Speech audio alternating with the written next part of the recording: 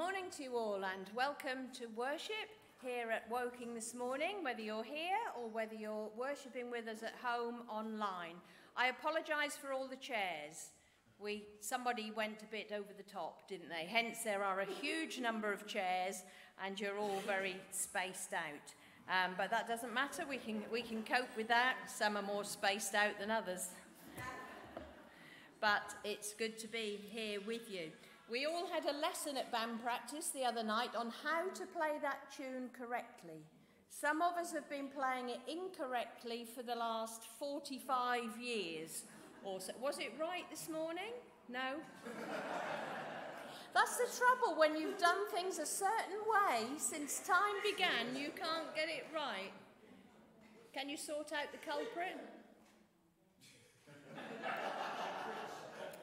Okay, we'll, we'll sort them out in. Wasn't me because I'm here. I didn't, I didn't play intentionally in case I got asked to leave because it was wrong.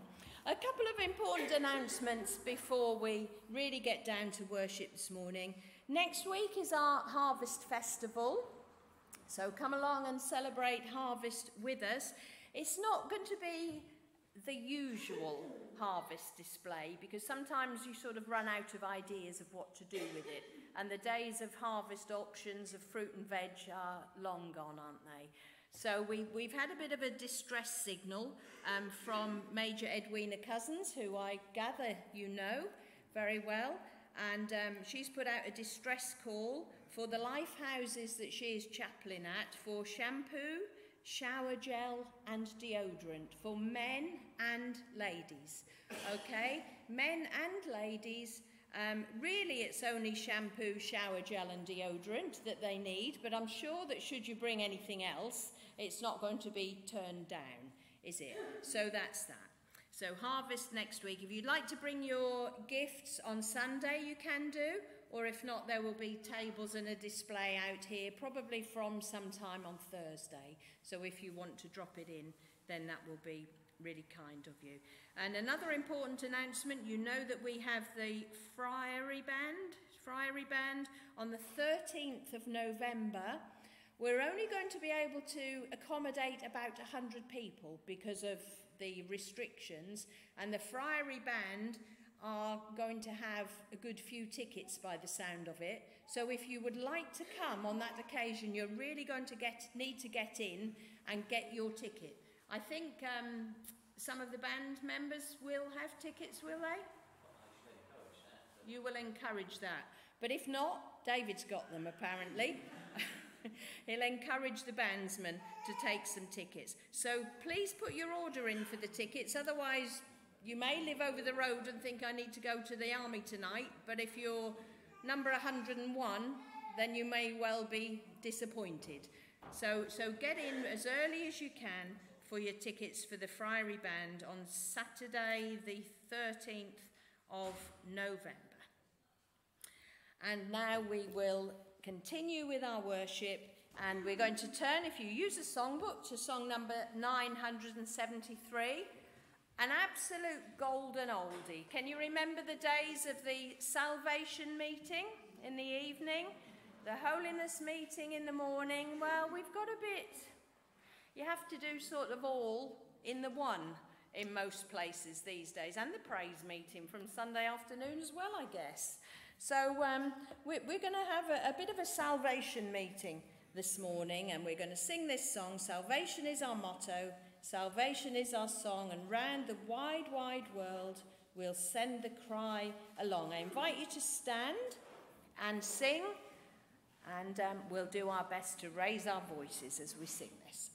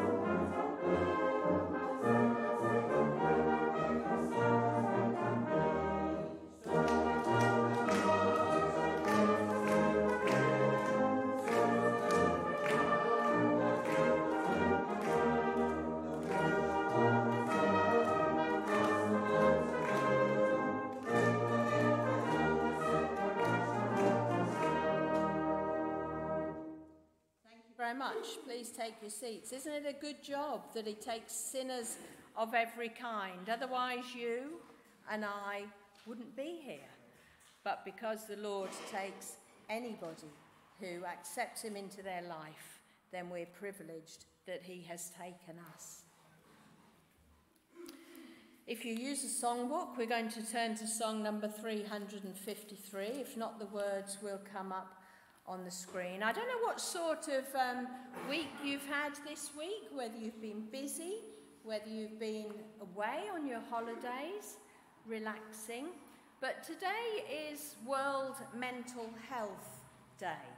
Some of us probably listened to the Salvation Army service on Radio 4 this morning, where the major there who was speaking is a, a psychotherapist um, and a, a counsellor. And so many people in our world these days suffer from mental health or live with mental health problems. And sometimes you just sort of wonder to yourself is it because of the pace of life? Is it because our minds never have any rest um, from technology and emails and all those things that bombard us the whole of our lives? Maybe we just don't take time out to be still. David and I yesterday took some time out and we sat on a beach. Um, the one thing we miss about living here, and I love you all, but I wish I lived at the seaside. I really, really miss those times when you can walk down to the seafront, cycle along the seafront, sit on the beach. And yesterday um, we did that for a little while in the sunshine at East Wittering, and the tide was coming in, and, and it was just so lovely just to sit there and take it in and be still. So, we're going to sing this lovely little song just now Be still, for the presence of the Lord, the Holy One, is here. And just, just sit and take in, listen if you don't want to, but just come quietly before the Lord and maybe let Him heal your soul because you're traumatized, you're anxious, you're worried about what the future holds. Be still for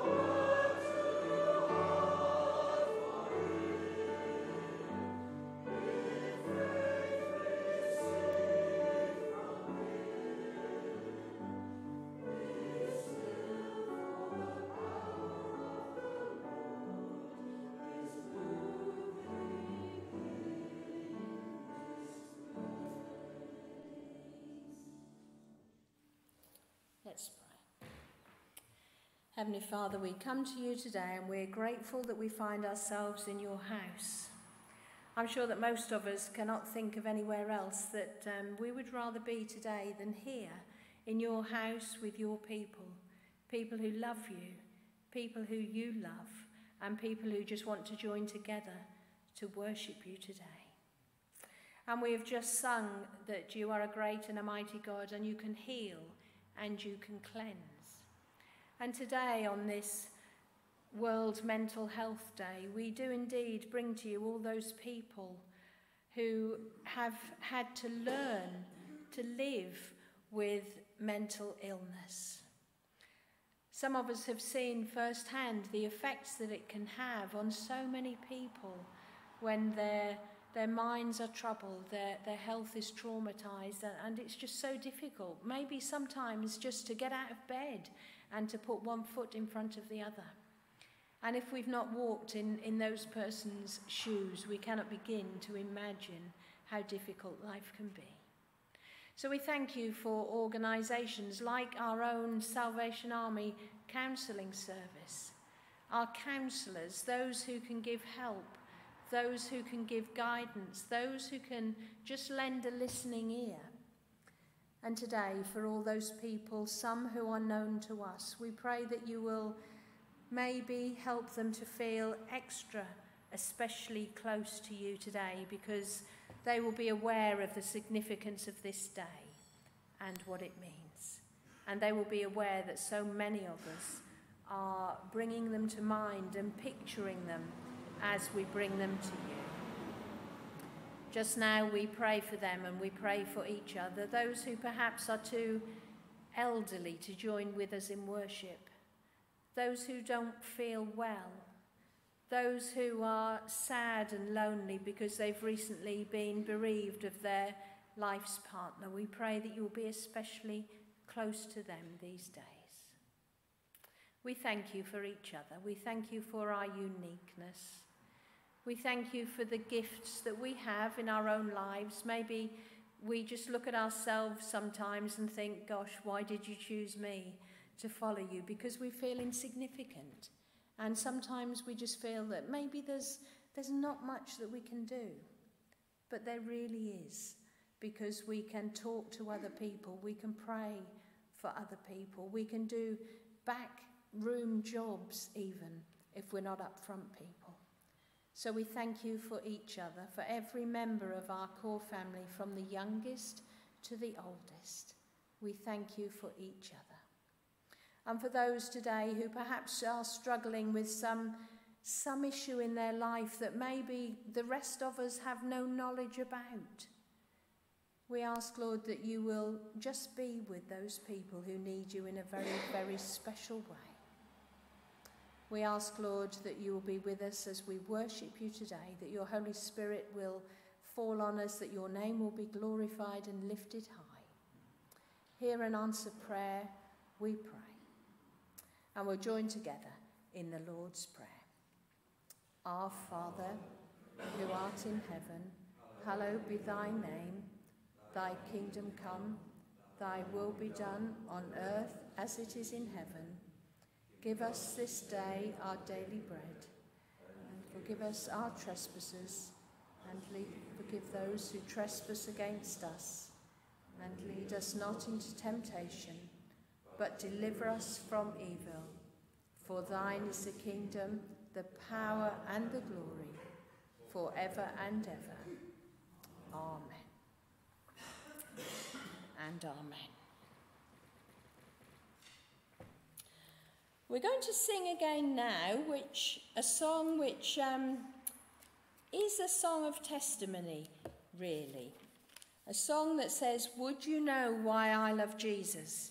Why he is so dear to me? It is because my blessed Saviour from my sins has ransomed me. And we're going to sing it to one of my all time favourite tunes. But after we've um, sung the first verse, I wonder if there is someone here this morning who would like to share with us why they love Jesus. We haven't had a time of testimony in the meeting for a good few weeks. I don't know why, that's probably our omission. Um, but it's time that, um, that we resurrected that, I think. So we'll sing the first verse and the chorus, and then if somebody would like to tell us why they love Jesus, we have got all the time in the world. We've got nowhere else to go today. So it doesn't matter how long we stay, does it? Thank you.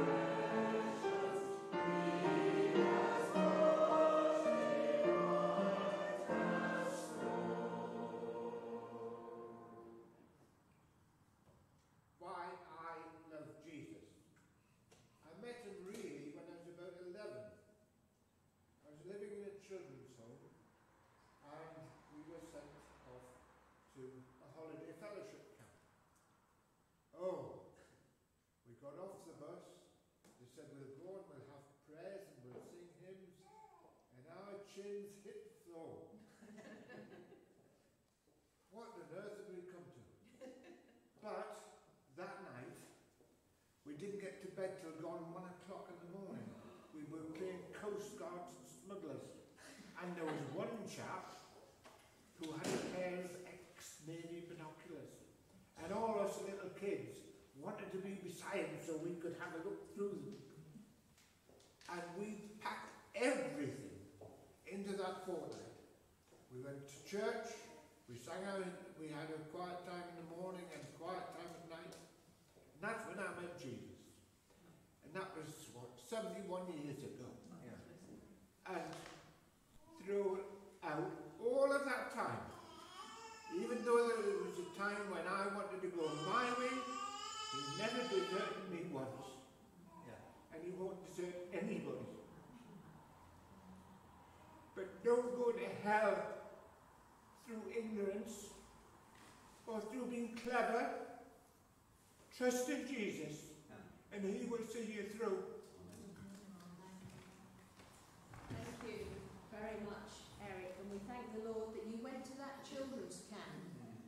Time. Otherwise, who knows what might have happened. We're going to sing the next verse, and then is there anybody else? If you, um, somebody once said to me once that if testimony time comes in the meeting and you sit there and your heart feels as though it's going to pound out of your chest, that's probably an indication. And it is absolutely right because I've had it happen.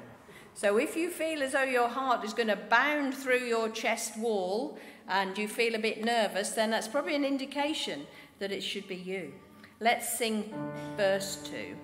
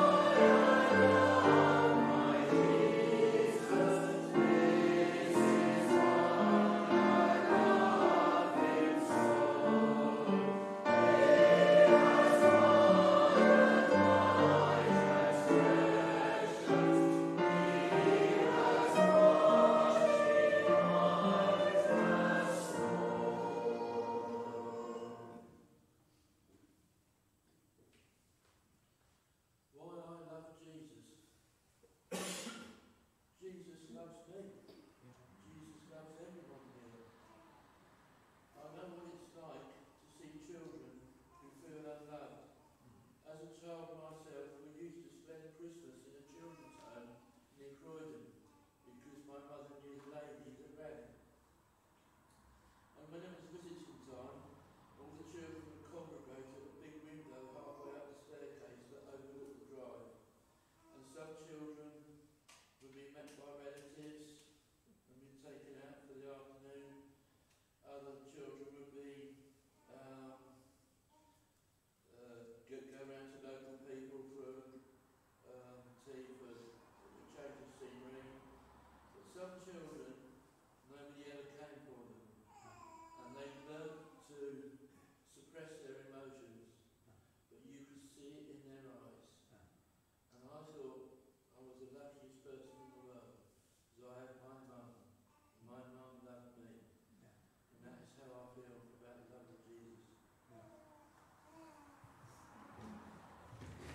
You very much, Dennis, for that um, really personal testimony. We'll sing verses um, four and five, and we'll just leave um, a, a few brief moments so that nobody else feels disappointed. You may feel very relieved, actually. But we'll sing verse four and five, and then we'll see if there's anybody else before we continue a little bit further. Thank you. Would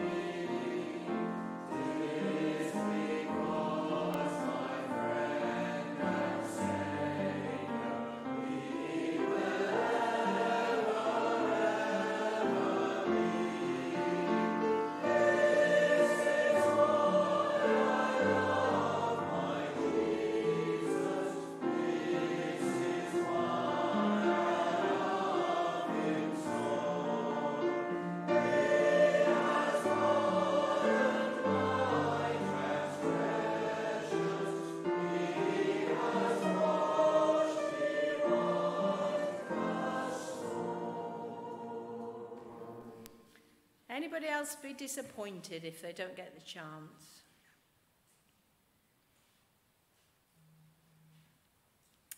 Okay, thank you very much to those of you who have said why you love Jesus this morning. Now we're going to listen to our scripture reading, and Peter is going to bring our reading to us this morning.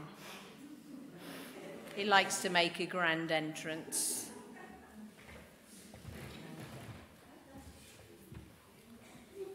When Margaret asked me to read the scripture, I thought it was because of my magnetic personality.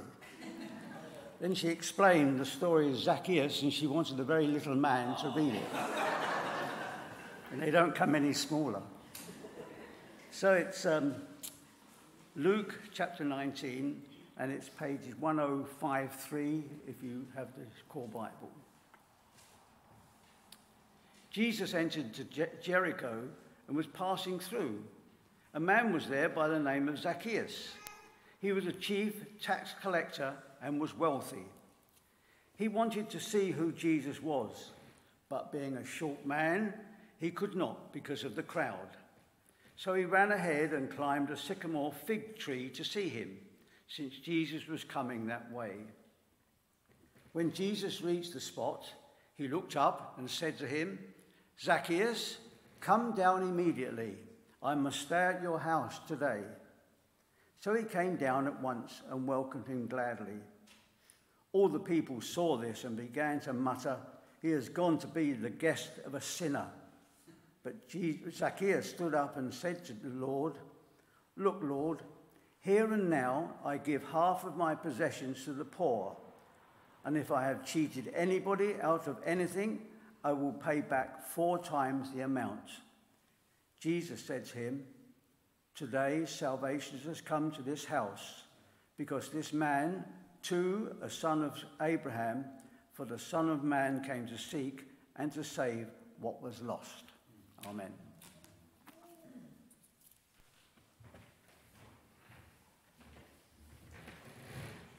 Thank you, Peter. And we'll consider that scripture in a while. Sometimes it's good to know who you can say things to without causing offence. And Peter laughed his head off on the phone at 10 o'clock this morning when I explained he'd never been met with such a request ever before, apparently, for being a very little man. We're all very little people, aren't we? But we serve a great big God. I wasn't sure whether to use this song or not today, and I'm still not totally sure. But I think we might go with it anyway. And I've been told that Matt and Sam, when you were little boys, this used to be one of your favourites, which is a long time ago. If you really want to join in and do the actions, you can do, or you can just sit and listen. And Vicky, if it goes on and on, which it is wont to do, just go like that and cut it off. Okay? Okay, um, I think in every meeting that I've ever used this in before, we've had children. We've got Elliot. Get him singing. He's crawling around now. His little voice can be heard, and it's lovely to have him. But we're going to sing this song, Our God, or we're going to watch it, whichever you want. Our God is a great big God. You can stand, you can do the actions. Feel free. I'm in, up here in full view, so I'll think carefully. Okay, let's sing or listen. Our God is a great big God.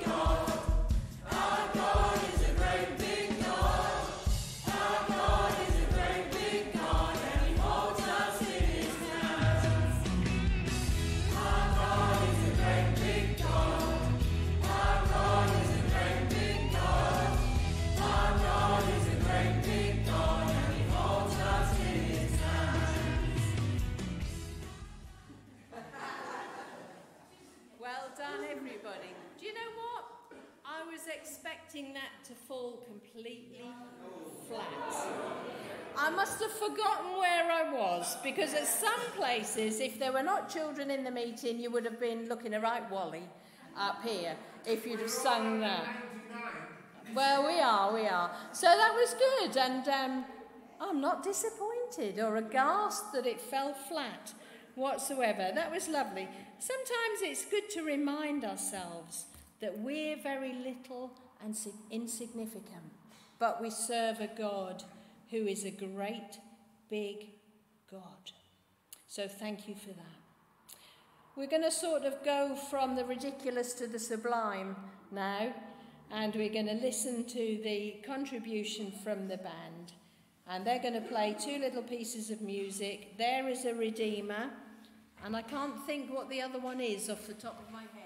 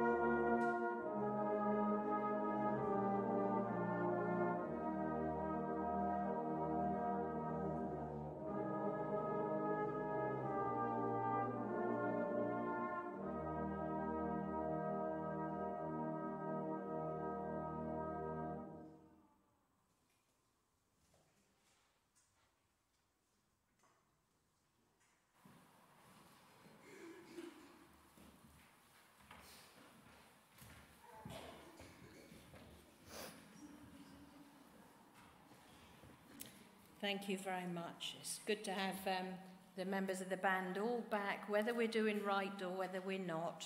We're doing our best and we're trying to keep us um, safe as possible. There's some Salvation Army Corps that have barely started up yet. So we're doing really well, aren't we? And we just hope and pray that we'll all keep safe and do our best to keep each other safe as well. But thank you for that lovely contribution. The offering slide will just come up on the screen. You can just have a look at it, give your offering if you like to. You look as though you'd like to play the piano major, so feel free and play away and um, just think about what you're going to give in your offering later as you leave. We're not going to sing it, but we'll let him play it.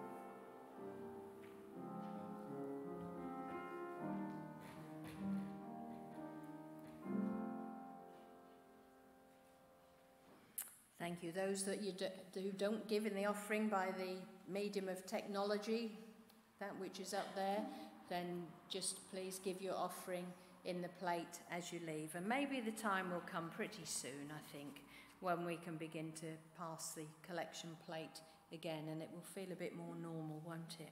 But we'll think on that one. The Songster Brigade are going to sing a lovely song that is really appropriate a song that is entitled Jesus Will Still Be There. No matter how you're feeling, no matter what you're worried about, Jesus will still be there. Let's listen as the songsters sing to us.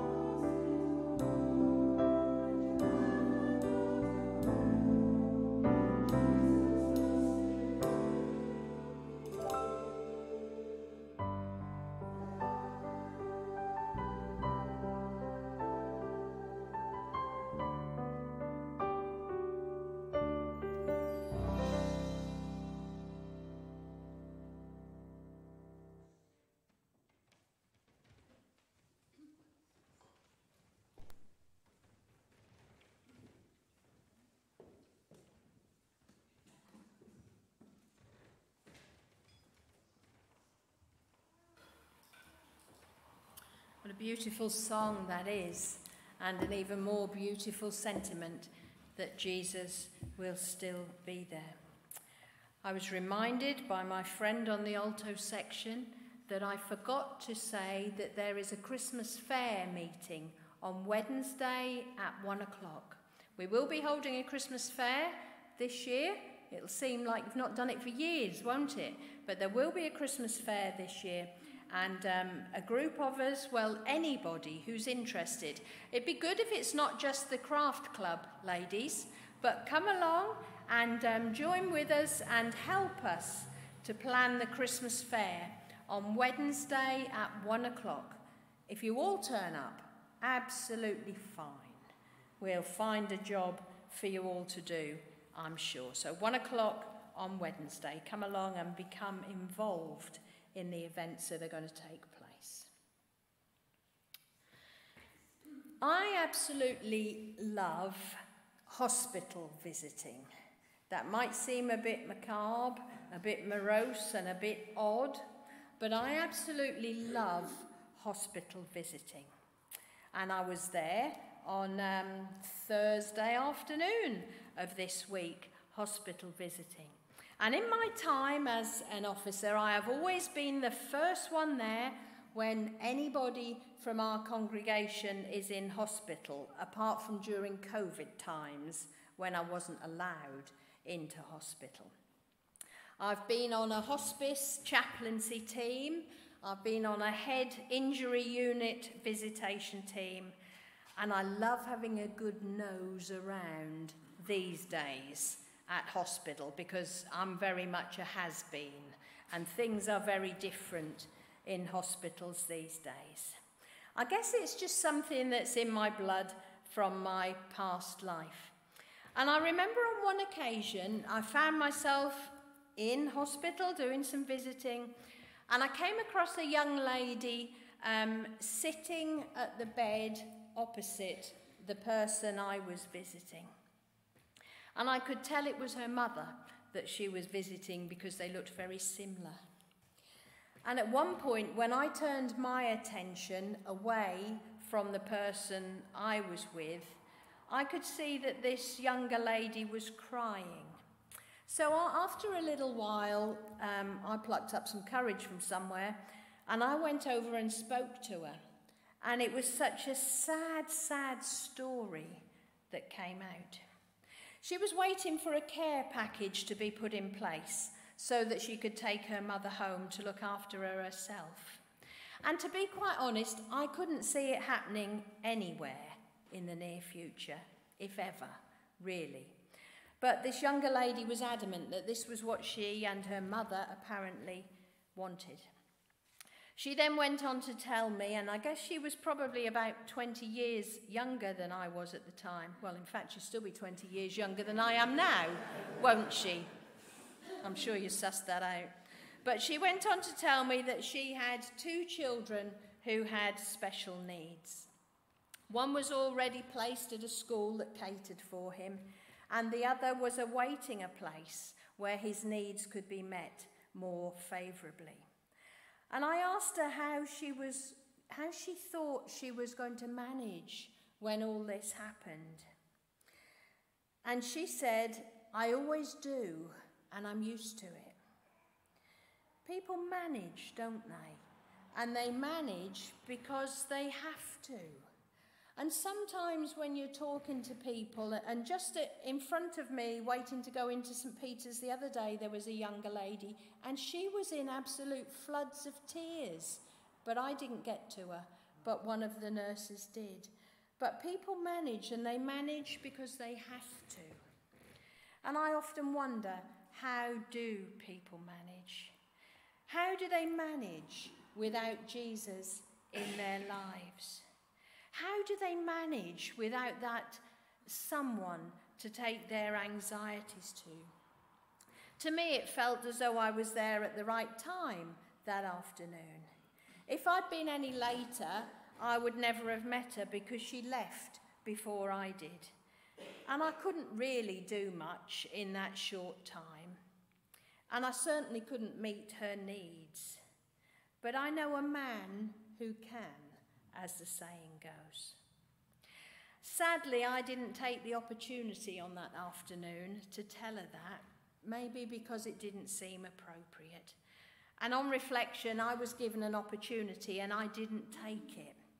But I guess that's what happens these days. Sometimes, sadly, we just let those opportunities pass us by. Well, some of us do, and I certainly did on that occasion. Maybe we're not as direct these days as we once were, when we would be out in the street with our bands. Remember those days?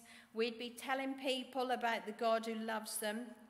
But times have changed, and we've had to adapt our methods. And I would like to think that we're still doing pretty well here because we've seen new people begin to attend our worship here in recent weeks. So between us, we must be doing something right, or God is doing it through us. All of us will be well aware that the Son of Man came to seek and save the lost. And we're still aware of that these days as we were years ago, but we're not so bold in how we do it now. Maybe we go down the befriending road, the listening ear road. We find ways to invite people to our places of worship, to our place of worship, and then they too can hear for themselves about the love of God, and hopefully they will see it too in the way that we live our lives. I believe, though, and I'm sure you do, that the God I serve is a great big God. He created the world, He flung stars into space, He filled the oceans with water and fish, and out of dirt He formed man in His own image, and He breathed into him the breath of life. When you look at creation, you expect a great big God could do all that, don't you? But what I want to know is does he have time for me? Is he a personal God? Could he meet the need of that sad lady who I met that afternoon? Well, I know the answer. And this morning we're going to look at a little insignificant man who had his need met by this great big God in the person of Jesus Christ. Jesus was passing through Jericho on his way to Jerusalem for his royal and triumphal entry into the city. And on his mind was the redemption of the whole world. After all, that was why he had come. And in the previous chapter of Luke's Gospel, Jesus had healed blind Bartimaeus. And then on this occasion, as Jesus arrived in Jericho, Zacchaeus, a tax collector who was very short in stature and rather insignificant to look at. And Peter, I don't ever think you're insignificant. But Zacchaeus wanted desperately to see this man. Zacchaeus' profession had all but alienated him from Jewish society in general and the Jewish religious community in particular. For Zacchaeus to collect taxes for Rome was for him to acknowledge that, that they even had a right to do so. And that necessitated this, the tacit admission that Caesar was king and not Yahweh. And to make matters much, much worse, the tax collectors' profit came from the extra that they would extract from citizens beyond what they legally owed. And so the tax collector was not only seen as a conspirator and a traitor, but he was also seen as a cheat and a thief. But his problems didn't end with his social ostracism. He was at odds with himself as well, this little man. Life was lonely without friends, and life without vital, intimate relationships is awful and it's without meaning. And Zacchaeus knew just what it was like to live like that. He knew that he was not who or what he was supposed to be. And Luke, in his gospel, rarely records names, but in this story he did so to make a point. Because the name Zacchaeus means pure innocent, just, and righteous. And yet, this man, with that meaning behind his name, had become corrupt, manipulative, despicable, and a tax collector. Those with whom he lived did not see him as pure and just. They saw him as a cutthroat, cheat, an informer, and a traitor. It couldn't get much worse, really, could it? But this day, someone different was coming to town. Zacchaeus had heard that Jesus was a friend of sinners, and he even ate with them. Just for once, this little man wanted to be treated like a human being. He wanted to feel loved and cared for. He wanted to feel respect and friendship coming to him from another person. And don't we all want to feel those emotions? Perhaps this man could give him some warmth, and so, in an act of desperation, the outcast decided that he would go to see this friend of sinners. But he faced some obstacles. Being a very short man, he couldn't see over the crowds, and they were certainly not going to make room for him because they didn't like him. He risked mingling with a crowd of people who wanted a chance to get even, to taunt him maybe, to push him out of the way, to kick him or give him a bit of a thick ear. He was really desperate. And since he was too short to see over the crowds, he climbed a tree to catch a glimpse of Jesus. Whatever was going to happen next. Would Jesus walk by unaware that Zacchaeus was there and unintentionally ignore him? Many had overlooked that man before, and there are many human beings who know that feeling all too well. What we so often think or want is often unimportant to everyone but ourselves.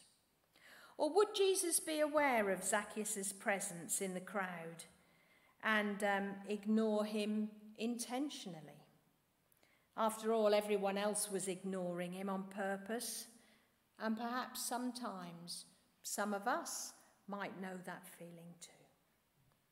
No one would have ever expected what happened next. Jesus stopped under the tree. He looked up and he said, Zacchaeus. Jesus called him by his name. Imagine that. Imagine what it must have felt like. This obviously insignificant person had called, this obviously significant person had called this little man by name as if they were friends, or at least they could become friends. And next, Jesus instructed Zacchaeus to come down, and he even invited himself for dinner. It was a bit preposterous, it was a bit crazy, but it was wonderful too. Jesus felt he had to just say this I must stay at your house today. Jesus couldn't redeem the whole world without saving one person. He knew that, and calling scoundrels such as Zacchaeus was essential to who he was and why he had come. And that is still true today. He still calls us by name, and he invites us sinners to meet with him. Jesus scandalized the pious Jews by accepting the hospitality of a social and religious outcast. He showed that he had courage by boldly and publicly associating with all kinds of people. When it came to the welfare of people, Jesus knew nothing of taboos and protocol.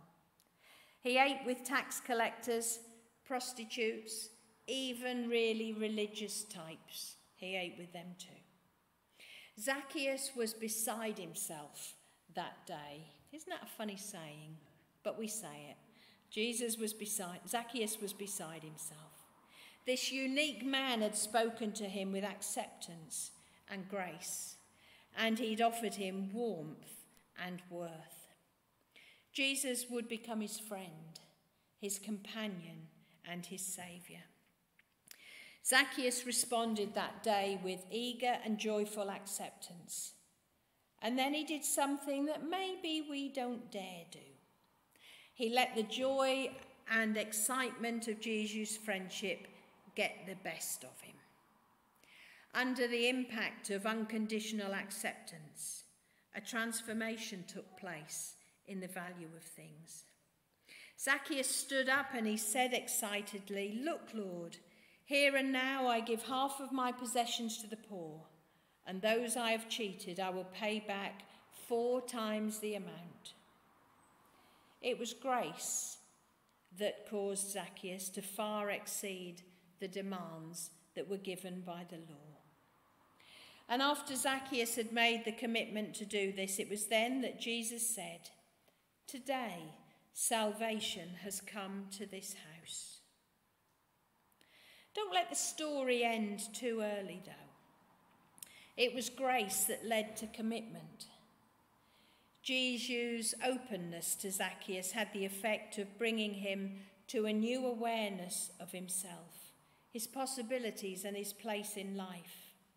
And that is what salvation is it's committing yourself to the Lordship of Jesus Christ in the best way that you know how, no more and no less. Zacchaeus accepted God's acceptance of him that day. Augustine apparently, apparently was fond of saying this. He lives each as if there were no other in all the world to love, and he loves all as he loves each. God loves us, and he calls us by name. He accepts us.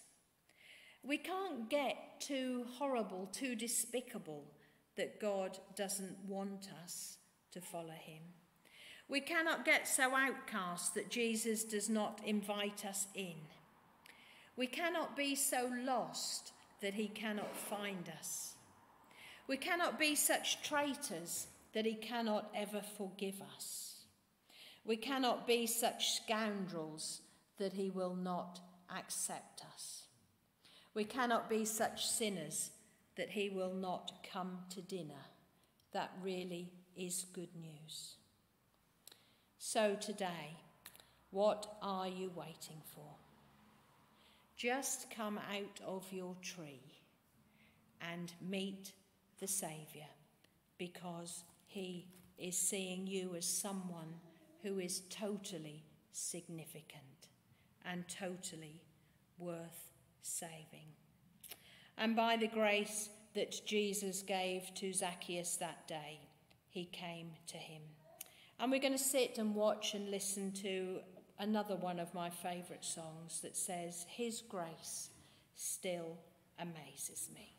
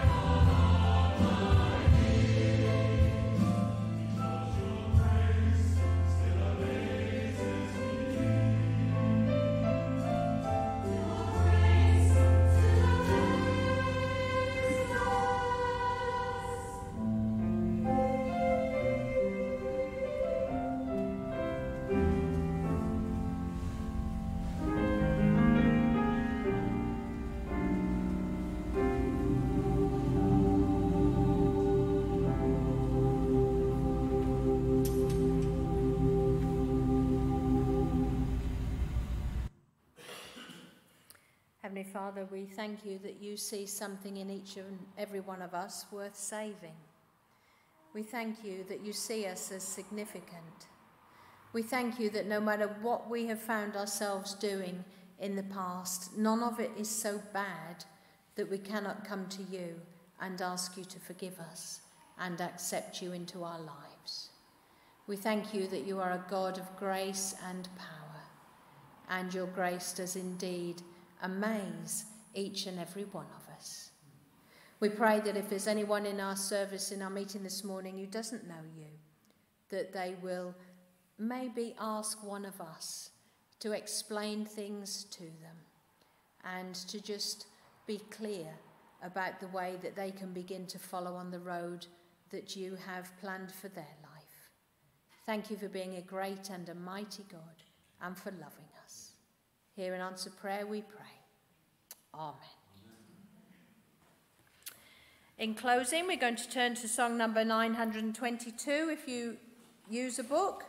Now is the time to go forth and tell, O Church of God, awake. And we need to go and tell God's saving news to all the nations take. I invite you to stand and sing together.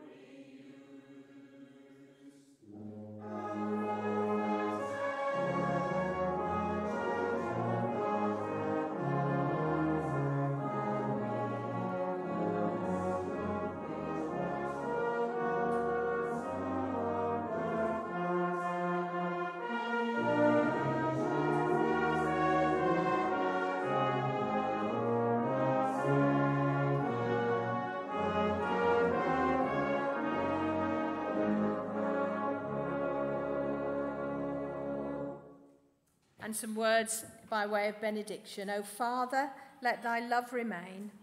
O Son, may I thy likeness gain. O Spirit, stay to comfort me. O triune God, praise be to thee. Amen. Good morning and God bless you all.